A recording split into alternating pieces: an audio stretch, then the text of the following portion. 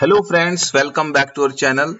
In this video, we are going to discuss the impact of skew on maximum operating frequency of our designs. This is very important parameter.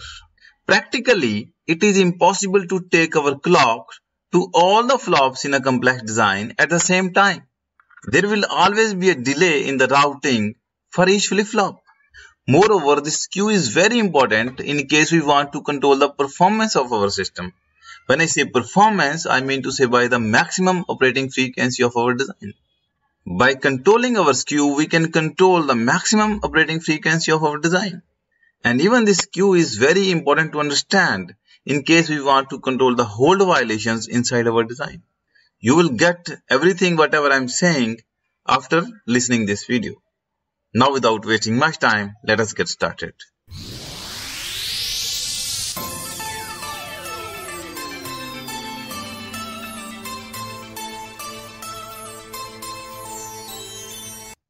Friends, to know the impact of skew on the maximum operating frequency of the design, we must know how to calculate the maximum operating frequency of the design in the absence of the skew. And I have created a separate video on this subject. I will give its link in the description section as well as in the I-bar section which is on the top right corner of the video. You can go through it. Anyway, let us just recap what we discussed in that video and we will also see what is the equation to determine the maximum operating frequency of the design.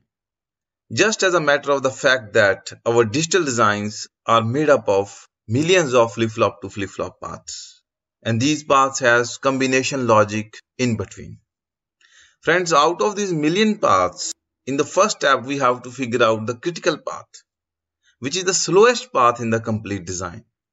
And if we can figure out the maximum operating frequency of that critical path, my entire design should be able to work at that operating frequency. So in the first step, we have to figure out what is the critical or the slowest path in my design. Just for your information, the flip-flop to flip-flop path is called the critical path having maximum amount of combination logic path delay. So let us assume that the path that you are seeing on your screen is the critical path here. Now we'll try to understand how to calculate the maximum operating frequency of this path, which ultimately will become the maximum operating frequency of the complete complex design. Hence, as we have not considered skew in this case, so the same clock is going to all the flip-flops inside the design. So flip-flop 1 and flip-flop 2 will receive the clock edges at the same time and let us assume that flip-flop 1 and flip-flop 2 both are working at positive edge of the clock that is they are positive edge triggered flip-flops. Now let us try to examine the behavior of this critical path when the first clock edge is received. Friends, as soon as the first positive edge of the clock is applied, the flip-flop 1 will start transmitting the input value available at its input that is D1 to its output that is Q1 and it will take TCQ amount of delay to do so. So after TCQ amount of delay, the input value will be available at the output of the flop that is the input of this combination logic. And let us assume that this combination logic has a delay of TCL. So in TCL amount of delay, the combination logic will pass its input value at its output and its output is nothing but the input of second flip-flop. And we are well aware of the fact that each flip-flop inside the digital design has some setup time requirement. And setup time is nothing but it is a time the input of the flip-flop should be stable for some minimum time before the active edge of the clock. Active edge here is a positive edge of the clock. So let us say the setup time of flip-flop 2 is TSU. So in Input to this flip-flop should be stable for this window. Friends, it is quite clear from the figure that if flip-flop 1 throws something on the nth active edge of the clock, it must be captured by flip-flop 2 on n plus 1 active edge of the clock. And from here we can easily drive the equation for minimum time period of operation. So the minimum time period of operation will be equal to TCQ plus TCL plus T setup of second flip-flop. And we also know that frequency is always inversely proportional to the time period of operation. From this equation, we can very easily calculate the maximum operating frequency of the design once we have calculated T minimum, that is the minimum period of operation. So this design is going to work for all the frequencies where time period is greater than T minimum. Now let us assume the case. If we apply the clock having time period less than this T minimum, this calculated value, then in that case, let us assume that the next active edge comes somewhere here. So what will happen? At the first positive edge, this flip-flop 1 will throw some value.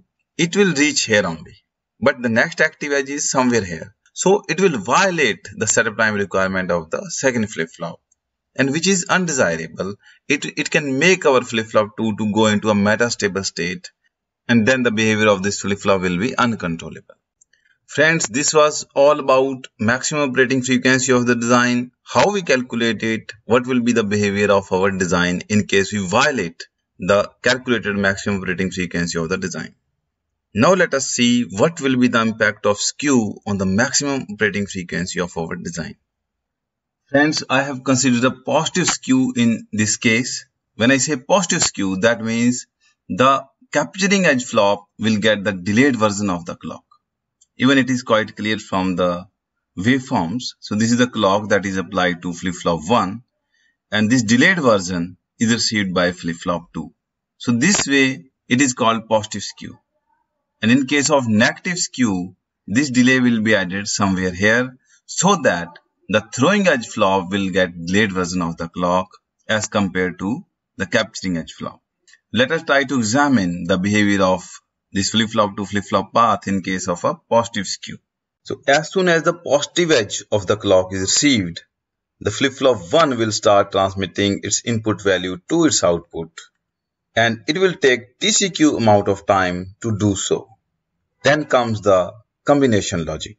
So this combination logic will take TCL amount of time to pass its input value to its output. And as we already discussed, Flip-flop 2 has some setup time requirement. So it is shown here and it is shown with respect to the clock that flip-flop 2 is receiving that is a delayed version of the clock. Friends, from these waveforms, it is quite easy to calculate the T minimum. That is a minimum period of operation. So let us try to see what will be the T minimum. This will be TCQ plus TCL and definitely setup time of this flip-flop. But because this edge is getting shifted by this time dollar, so we can subtract here. Because this active edge is getting shifted by this dollar time, so this dollar time will help flip-flop 2 to accommodate its setup time. So this way it is quite clear that T minimum is getting reduced. So that way F maximum will increase. So the maximum operating frequency will increase by adding positive skew in the design. Now let us try to examine the second case that is the case of a negative skew. For negative skew this delay is added somewhere here that means flip-flop 1 that is a throwing flop is getting the delayed version of the clock and this delay is dollar and this clock is going to flip-flop 2 directly. Now let us try to examine the behavior of this flip-flop to flip-flop path in case of negative skew. So on the positive edge on the delayed clock the flip-flop 1 will start transmitting its input value to its output and it will take TCQ amount of time. But with respect to this clock, it is taking dollar that is skew plus TCQ amount of time. Now this value reaches to the input of this combination logic and this combination logic takes time equal to TCL and this value is available at the input of flip-flop 2. We know that this flip-flop 2 also requires some setup time. Friends, from these waveforms, it is very easy to make an equation for the maximum operating frequency and minimum time period of operation. So if we see, it is this skew plus TCQ plus TCL and setup time of this flip-flop 2. So it will be the T minimum. And F maximum is obviously inversely proportional to T minimum. And it is quite clear that this T minimum is increased with the negative skew. So that means the frequency of operation is reduced by adding the negative skew. Friends, now I am going to conclude this lecture and we saw the first case where there was no skew and the T minimum was equal to TCQ of the throwing flop plus the combination logic delay plus setup time of the capturing flop. In case of the positive skew, this T minimum is reduced to TCQ plus TCL plus T setup as it is minus skew, the amount of skew added. So we saw that T minimum is reduced.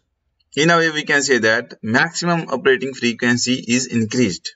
So that is the plus point of the positive skew that the operating frequency is increased. In case of negative skew, the T minimum is increased by amount dollar that is skew and the operating frequency is reduced. Friends, with this I am going to wrap up this video and I hope that this would be quite interesting and informative for all of you. And in future we will create many such videos. To get the notification of all the upcoming videos, don't forget to subscribe my channel and don't forget to press the bell icon. Thank you so much.